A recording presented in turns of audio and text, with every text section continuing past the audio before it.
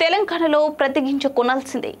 ప్రధానికి కేసీఆర్ లేఖ ధాన్యం కొనుగోలు విషయంలో కేంద్రం తెలంగాణ ప్రభుత్వాలు మధ్య వివాదం కొనసాగుతున్న సమయంలోనే సీఎం కేసీఆర్ ప్రధాని మోదీకి బుధవారం లేఖ రాశారు.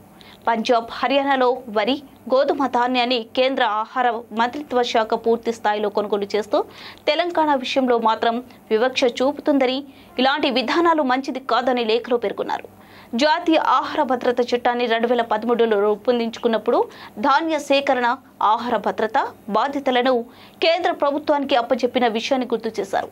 తెలంగాణ ప్రభుత్వం సాగునీటి సౌకర్యం కల్పించడంతో పంటలు విస్తీర్ణం పెరిగిందని ప్రతి వరి గింజను కొనే బాధ్యత కేంద్ర ప్రభుత్వానిదేనని పేర్కొన్నారు. పంటల సేకరణపై జాతీయ స్థాయిలో ఒక నిర్దిష్టమైన విధానాన్ని రూపొందించేందుకు అన్ని రాష్ట్రాల ముఖ్యమంత్రులు వ్యవసాయ రంగ నిపుణులతో సమావేశం ఏర్పాటు చేయాలని కేసీఆర్ లేఖలు కోరారు. తెలంగాణ ప్రభుత్వం అనుసరిస్తున్న విధానాలు రైతుల కోసం అమలు చేస్తున్న పథకాలతో రాష్ట్రంలో పంటల దిగుబడి పెరిగిందని దానివల్ల రాష్ట్రంలో రైతులు వలసలు ఆత్మహత్యలను తగ్గాయని తెలిపారు.